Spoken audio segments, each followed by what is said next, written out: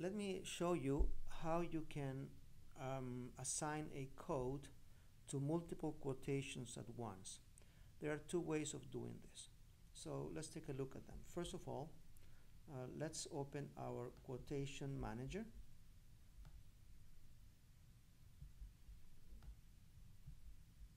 And here we have a set of quotations.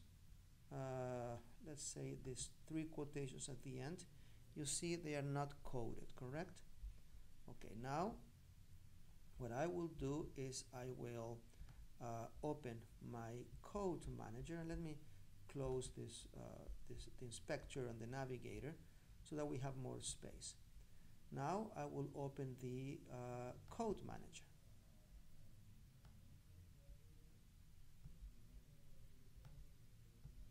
I will do the same. I'm gonna close the, the, the navigator and the inspector. Put it like this. Right. Okay. So this is how you do it. And now you need to uh, select the quotations and drag and drop them onto the code, code X.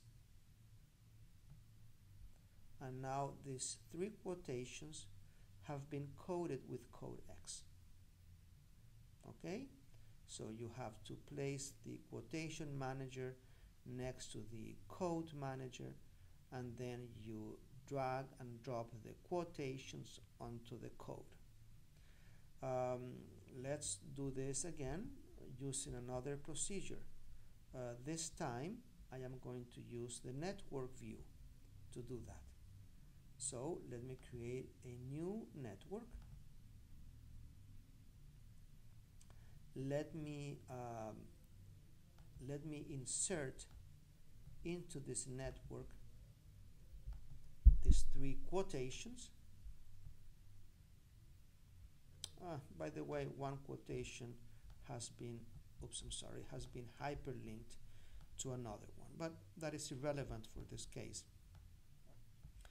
And now I want to insert here uh, the code.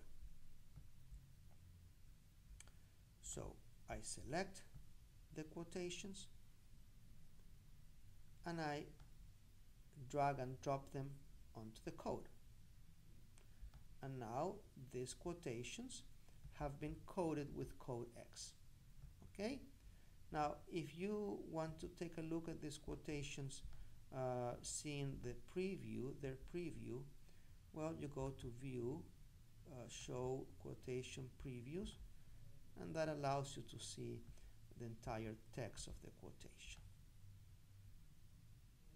All right? Okay, so that is how you can uh, link a code uh, to a set of, of uh, quotations at once. Thank you.